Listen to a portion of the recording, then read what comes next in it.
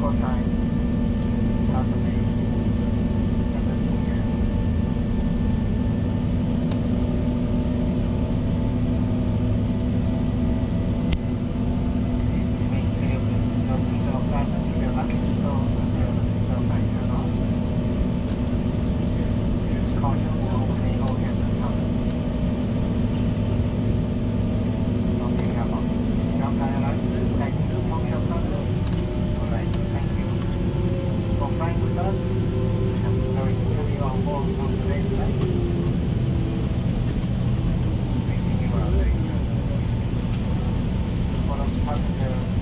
Canadian here. Please check TV Macro for your Canadian gate information.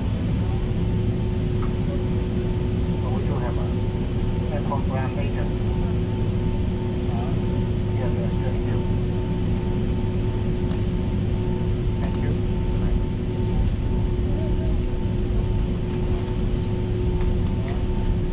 승객 여러분, 비비어에 오시느라 수고하셨습니다. 저희는 인천공항에 도착했습니다. 지금 이곳은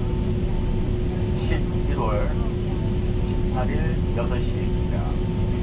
여러분의 안전을 위해 비기가 완전히 멈춘 후 좌석벨트 표시 꺼질 때까지 자리에서 기다려 주십시오. 선반을 여실 때는 안에 있는 물건이 떨어질 수 있으니 조심해 주시고 내리실 때는 잊으실 물건이 없는지 다시 한번 확인해 주시기 바랍니다.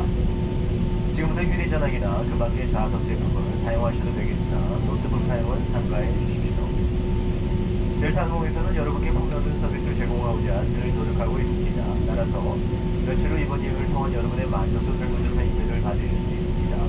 잠시만 시간을 내어 여러분의 소중한 의견을 보내주시길 부탁드리겠습니다.